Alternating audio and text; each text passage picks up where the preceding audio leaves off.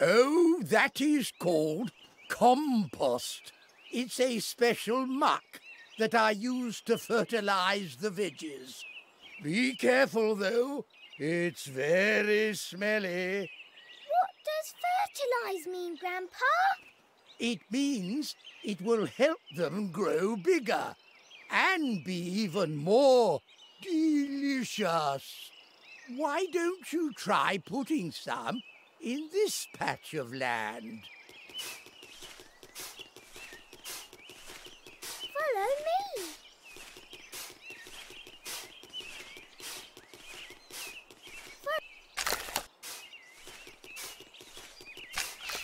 Ho ho! Great job! Now the plants will grow strong and tall.